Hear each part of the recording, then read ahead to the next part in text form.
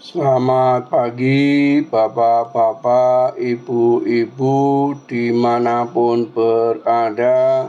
Shalom berkah dalam.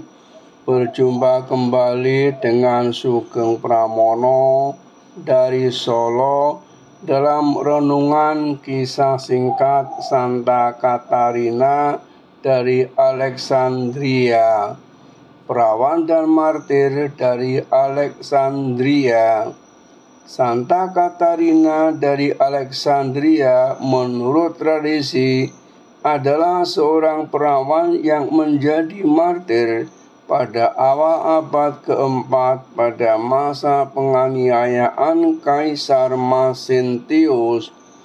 Dia adalah seorang putri bangsawan yang sangat terpelajar dan menjadi Kristen pada usia sekitar 14 tahun. Lebih dari 1100 tahun setelah kemartirannya, Santa Joan of Arc mengidentifikasi Santa Katarina sebagai salah satu dari para suci yang menampakkan diri dan menasihati dia Gereja Katolik Ortodoks menghormati Santa Katarina sebagai martir besar yang merayakan hari pestanya pada tanggal 24 dan 25 November tergantung pada tradisi lokal masing-masing metropolis ortodoks.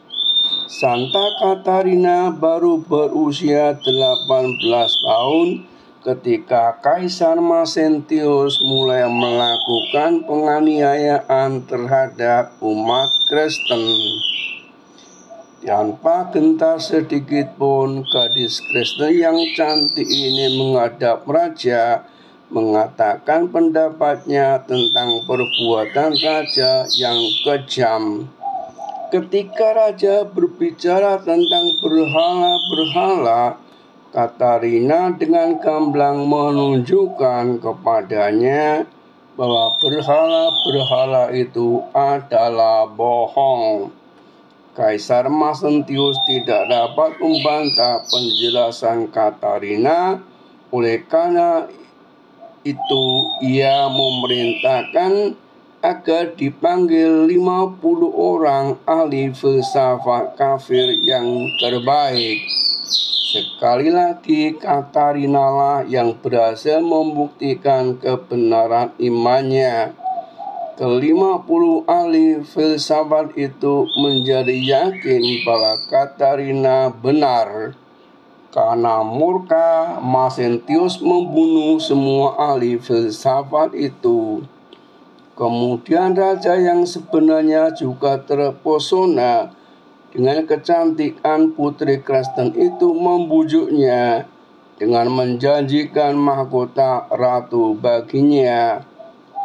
Katarina dengan tegas menolak dengan menyatakan bahwa suaminya adalah Yesus Kristus kepada siapa yang mempersembahkan kesuciannya.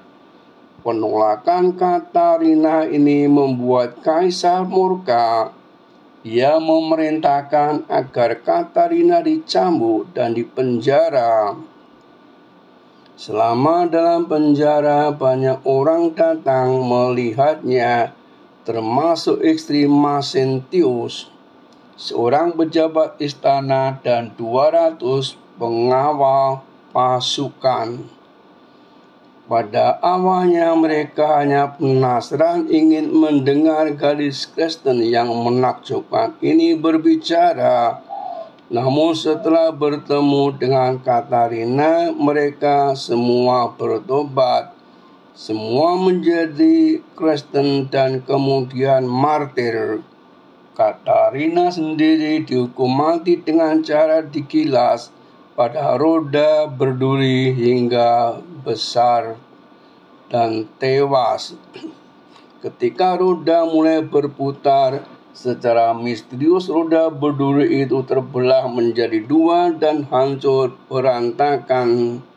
Pada akhirnya Santa Karina wafat di penggal kepalanya tahun 305 di Alexandria, Mesir. Pada masyarakat Kristen perdana di Timur Tengah terdapat mitos yang mengatakan bahwa setelah kematiannya para malaikat kemudian membawa jenazah Katarina ke puncak Gunung Sinai. Abad ke-6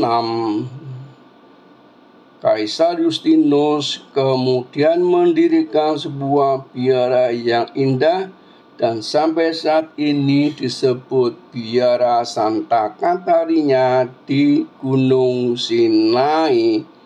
Gereja utama biara ini dibangun antara 548 dan 565 dan biara ini menjadi situs ziarah terutama bagi pemeluk Kristen Timur dan Barat Biara Santa Katarina dapat bertahan sampai hari ini dan merupakan warisan seni dan arsitektur dari kebudayaan Kristen perdana.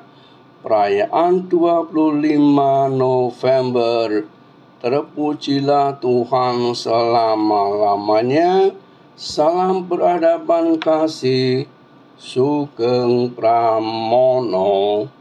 ஆமீன்